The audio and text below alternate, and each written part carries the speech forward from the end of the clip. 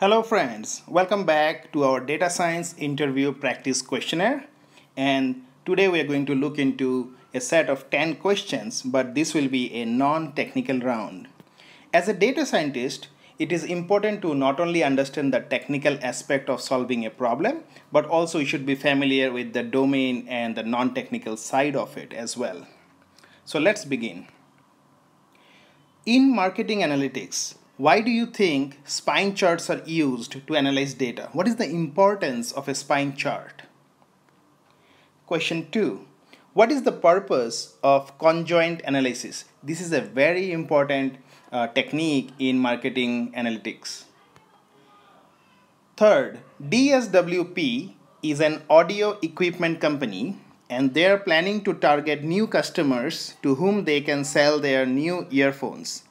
They have collected demographic, behavioral, psychographic, previous transaction data. So, which model would you build for them?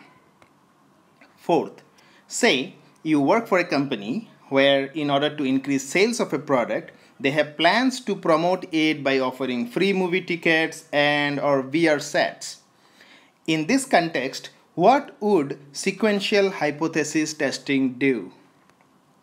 Fifth, as a data scientist, you have to convert business problem into machine learning problem, which comes from, of course, mathematical logics. So say your company wants to find whether people would like to purchase their products online or in store. So which function would you use? Logit or sigmoid or linear or quadratic function? Sixth, a product-based company always looks to build new products. However, a product manager has to consider a lot of variables to determine what should be a new product be, what would be its features, the market segment, what would be the price of that product, and many other variables. So which method can you suggest? Logit or conjoint or multidimensional scaling? Seventh, you have a new machine learning problem. So while data preparation, do you need a subject matter expert or domain expert in that stage? Is it necessary to involve a, such a professional? 8. Can you explain the type 1 and type 2 error in plain English?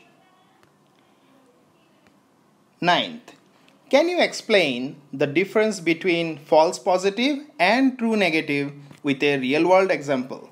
False positive and true negative comes from confusion matrix. Tenth, what does it mean by there is a correlation but no causal relationship? It's a common question that would arise in often data science interviews. So please provide your answer with an example. So I hope you got some idea about the non-technical questions that are being asked in a data science interview. So now you got an angle to prepare. All right, all the best and thanks for watching.